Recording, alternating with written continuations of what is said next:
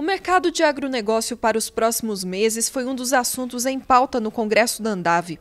No estande da Urufina Grossiência, o tema foi discutido nas rodas.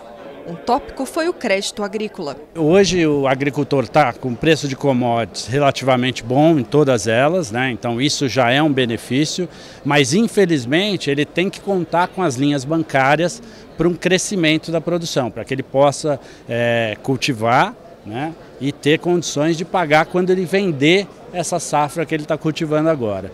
Então, os bancos, a gente frisa muito essa importância, porque sem eles fica realmente muito complicado. Depois de uma forte crise no setor sucroalcooleiro, o diretor comercial de cana da Urufina Grossiense está otimista para os próximos meses.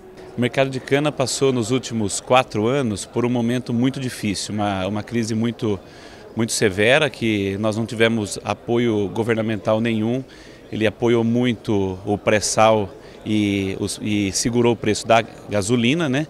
E isso realmente impactou muito o nosso setor sucroenergético.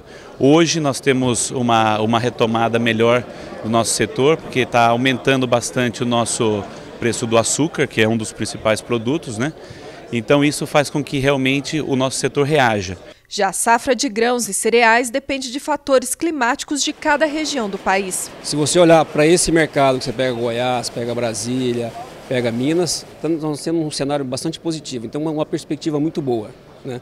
A hora que você sobe um pouco mais, vai para Bahia, você vai para Tocantins, Maranhão, Piauí, então eles sofreram um pouco mais com a, com, a, com a seca na última safra. Só que a hora que você faz uma projeção para a próxima safra, né, a questão climática, ela é positiva. Porque nós estamos trabalhando com a premissa, uma previsão de ter laninha. Então, e laninha para essa região, ela beneficia, são, é mais chuva. Independente da situação, o produtor vai plantar, teremos um aumento, acredita-se que em torno de 1,5% a 2% da área de soja plantada.